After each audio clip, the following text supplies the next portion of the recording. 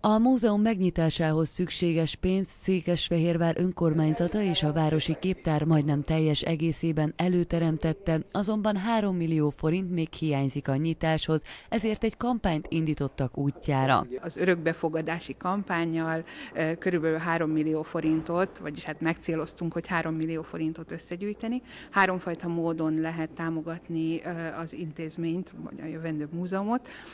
Egy két taléros, egy hét és egy 77 taléros támogatással, ezek ezreket takarnak. A Városi Klub rendhagyó találkozóját dr. Cserpalkovics András polgármester nyitotta meg, aki elmondta, hogy a gyűjtemény megvalósulása a város lakóinak segítségével egy szép összefogás eredménye lehet. Azt gondoltuk, hogy ennek a legszebb módja, hogyha egy összefogás eredményeképpen sikerül ezt összegyűjteni, hiszen valljuk be őszintén, hogy amit készen kap az ember, azt néha kevésbé értékeli, mint amihez saját maga is hozzátehetett egy kis 2000 forintos támogatást, vagy éppen egy civil szervezet részéről egy 77 ezer forintos támogatást. Az elsők között a Székesfehérvár Jövőért Egyesület is felajánlott 77 ezer forintot.